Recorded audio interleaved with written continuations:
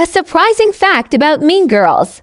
Lindsay Lohan was initially cast as Regina George.